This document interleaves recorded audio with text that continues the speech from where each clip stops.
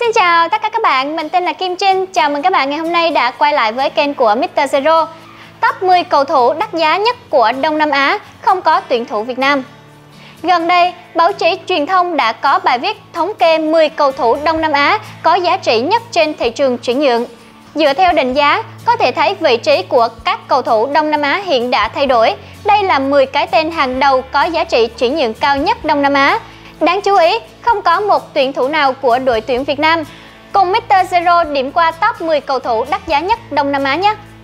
Và các bạn đừng quên bấm like, subscribe và nhớ ấn vào nút thông báo để nhận ngay những thông tin mới nhất của Mr. Zero các bạn nhé.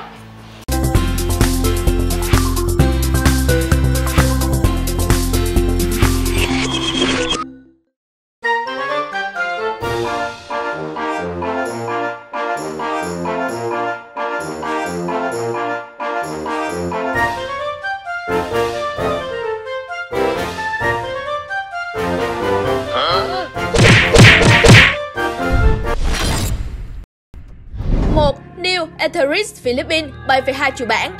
Neil Etheridge năm nay 28 tuổi, cao 1m88. Anh từng có khoảng thời gian theo học ở lò đào tạo của Chelsea, Fulham.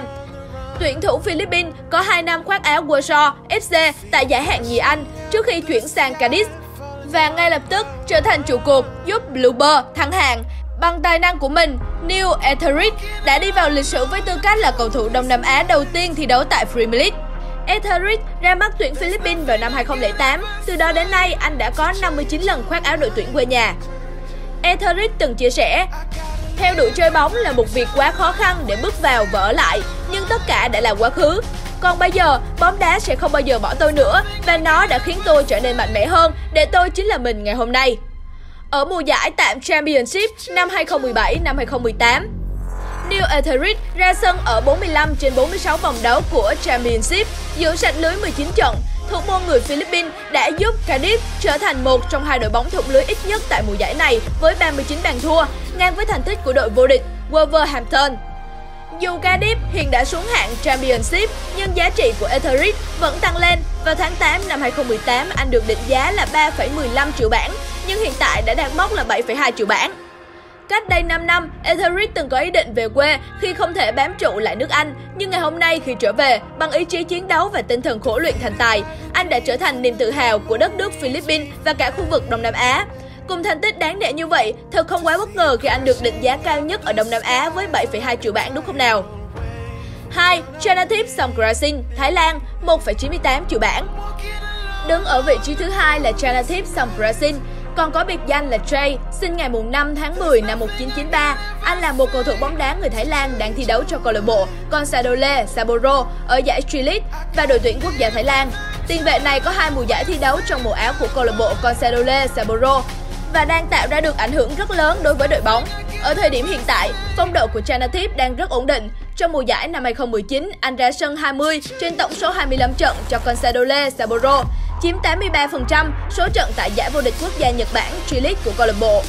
Đáng nói khi Chanathip là trụ cột quan trọng đến mức anh đã chiếm toàn bộ tất cả các trận được ra sân. Bốn trận mà tiền vệ này vắng mặt là do chấn thương. Cầu thủ 25 tuổi với biệt danh là Messi Thái được định giá khoảng 630.000 bảng vào năm 2018, nhưng màn trình diễn ấn tượng trong màu áo của Consadole Sapporo đã giúp anh tăng giá lên gần 2 triệu bảng. Chanathip hiện đã có được 4 bàn thắng và 7 pha kiến tạo sau 22 trận tại G-League mùa này. 3. Therasin Dangda, Thái Lan 810.000 bảng Vị trí thứ ba tiếp tục thuộc về một cầu thủ người Thái Lan là Therasin Dangda, sinh năm 1988. Anh đang chơi ở vị trí tiền đạo cho câu lạc bộ Mùa An Thông United tại Thái League và đội tuyển bóng đá quốc gia Thái Lan. Vào năm 2018, tiền đạo người Thái Lan này đã chuyển đến Nhật Bản theo hợp đồng cho mượn từ câu lạc bộ Mùa An Thông United. Ở mùa giải này, anh đã ghi được 5 bàn thắng trong 23 lần ra sân góp công giúp San Frise Hiroshima đang có được vị trí số 1 trên bảng xếp hạng J-League. Hơn thế nữa, tại mùa giải này, Therasin Danda đã được bầu chọn là cầu thủ xuất sắc nhất trận. Hơn thế nữa, anh còn tự điền tên mình vào lịch sử hạng đấu chuyên nghiệp cao nhất của xứ sở Chùa Vàng. Với vị trí là cầu thủ Đông Nam Á đầu tiên ghi bàn tại G1 League sau 22 năm thành lập. Mặc dù chấn thương dài dẳng khiến phong độ giảm sút thời gian qua, nhưng Đa vẫn leo từ vị trí thứ 6 lên vị trí thứ ba trong danh sách top 10 cầu thủ Đông Nam Á giá trị nhất. giá của tiền đạo 31 tuổi đã tăng từ 585.000 bảng vào năm 2018 thành 810.000 bảng năm 2019. Đỉnh cao của anh là thời gian thi đấu cho Udi Emeria khi được định giá lên đến 900.000 bảng. 4. Naso Insa, Malaysia, 720.000 bảng. Naso Insa là cầu thủ Malaysia được xếp hạng vị trí thứ 4 trong danh sách này. Naso được cho là một trong những tiền vệ xuất sắc nhất tại Malaysia Super League năm 2017. Mặc dù mới chỉ ký hợp đồng với Trinity trong kỳ chuyển nhượng giữa mùa giải. Cầu thủ 33 tuổi gốc Tây Ban Nha này không có ưu thế về tốc độ, nhưng có thể là người giữ nhịp trong những tình huống lên bóng và mang đến những đường truyền sát thủ tạo ra cơ hội ghi bàn. Từng phải ngồi ngoài một thời gian dài vì chấn thương, nhưng vẫn đứng ở vị trí thứ 4 trong danh sách này. Tiền vệ của Johor Darutazim vẫn giữ nguyên giá trị là 720.000 bảng. Từ thời còn thi đấu cho Levante, Judy, GDT đã mua anh về với giá là 350.000 bảng vào mùa hè năm 2017. 5. Thirathon Bumathan, Thái Lan, 720.000 bảng. Cũng ở vị trí thứ 4 với Naso Insa chính là Thirathon Bumathan, một cầu thủ người Thái Lan. Không chỉ Tirasin Dangda hay Chanathip Songkrasin liên tục thể hiện đẳng cấp của người Thái bằng những bàn thắng và kiến tạo trong các trận đấu, mà hậu vệ Thirathon Bumathang còn chứng minh vì sao mình được người Nhật sử dụng. Theo chuyên trang về thống kê và dữ liệu bóng đá Opta, Thirathon Bumathang đã thi đấu 23 trận tại G-League năm 2018. Đáng chú ý, hậu vệ trái này đã có 21 lần rê bóng qua người đối thủ thành công, đạt tỷ lệ tuyệt đối là 100%, cao nhất G-League 1. Hậu vệ cánh 29 tuổi đang trải qua mùa giải thứ hai tại G-League cùng Yokohama. Marinot theo dạng cho mượn từ mua ăn thông. Thirathon được định giá là 450.000 bảng khi lần đầu tiên xuất ngoại thi đấu cho Vissel Kobe và đã tăng lên thành 720.000 bảng trong những tháng gần đây. 6. Thitiban, Buang Trang, Thái Lan, 540.000 bảng. Tiếp tục là một cầu thủ người Thái, Thitiban Buang Trang là người xếp thứ 5 trong danh sách này với vai trò của cầu thủ số 8. Thitiban luôn được kỳ vọng sẽ là hạt nhân trong cách vận hành tuyến giữa đội tuyển Thái Lan. Tiền vệ sinh năm 1993 sở hữu khả năng lên tham gia tấn công ấn tượng và sẵn sàng chơi tiểu xảo khi cần thiết trong các tình huống phòng ngự. Sự quyết đoán, tốc độ lẫn khả năng càng lướt của Thitiban không phải điều dễ thấy ở các cầu thủ Đông Nam Á. Không phải ngẫu nhiên thì T-Ban trụ lại được ở Nhật Bản từ đầu năm 2019. Ota Trinita đăng ký được đúng hai suất ngoại binh cho mùa giải G-League và một trong số đó thuộc về Thitiban. Tiền vệ người Thái Lan đã chơi 18 trận ở G-League mùa này. Trong đó có 11 lần đá chính góp phần đưa Osta Trinita tạm đứng thứ 8 trên bảng xếp hạng G-League. Đương nhiên, giá của anh tăng vọt từ 360.000 bảng năm 2018 lên tới 540.000 bảng ở thời điểm hiện tại. Nếu tiếp tục duy trì được phong độ cao, giá của anh sẽ còn tiếp tục tăng mạnh nữa. Ở vị trí số 6 là hai cầu thủ được định giá là 495.000 bảng. Đó là Daisuke Sato, cầu thủ người Philippines, và Kawin Thamsachana, cầu thủ người Thái.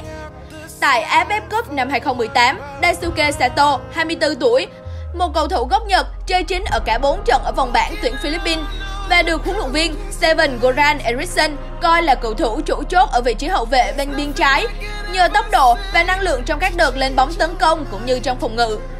Hậu vệ cánh của Philippines đã chuyển tới thi đấu trong mùa ăn Thông United vào tháng 6 năm 2019 sau 3 mùa thi đấu tại châu Âu cho FC Politechnica Dasi và Sipsiot của Romania cũng như AC Horsens của Đan Mạch. Còn với cầu thủ người Thái Kawin Thamsat Chanan, sinh năm 1990, anh đang chơi ở vị trí thủ môn cho câu lạc bộ giải hạng B của Bỉ. Âu Heverly Lauven và đội tuyển bóng đá quốc gia Thái Lan. Biệt danh của Kawin là Flying Kawin nhờ những pha cứu thua ngoạn mục của anh ấy.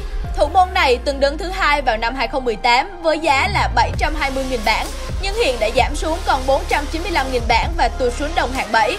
Cầu thủ 29 tuổi đã phải vật lộn với chấn thương và mất đi suất bắt chính tại đội tuyển Thái Lan vào tay của Siwarik Tetsum Noel tại vòng loại World Cup năm 2022. 8. Javier Batino, Philippines, 450.000 bảng. Vị trí thứ 7 thuộc về Javier Batino, một cầu thủ gốc Tây Ban Nha nhưng chơi với vị trí tiền đạo của Philippines, được định giá là 450.000 bảng. Tiền đạo này đã ghi bàn thắng đầu tiên cho đội tuyển quốc gia tại vòng loại World Cup năm 2022 trong trận thua 2 năm trước Syria. Anh cũng đã có 3 bàn sau 9 trận cho Richard Burry Midfong sau khi được cho mượn từ Buriram United vào đầu năm nay.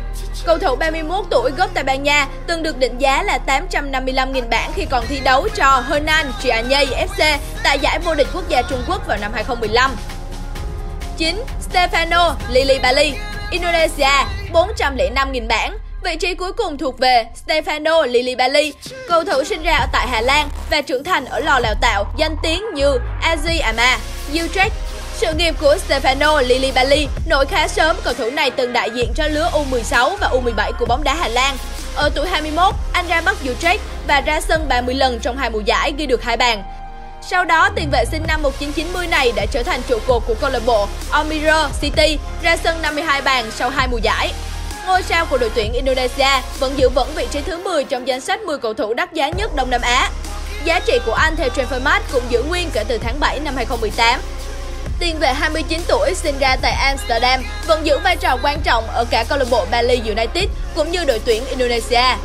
Vừa rồi các bạn đã được điểm qua 10 cầu thủ đắt giá nhất Đông Nam Á. Các bạn nhớ like, subscribe và bật chuông thông báo để nhận được những thông tin mới nhất từ kênh của chúng mình. Xin chào và hẹn gặp lại các bạn trong những video lần sau.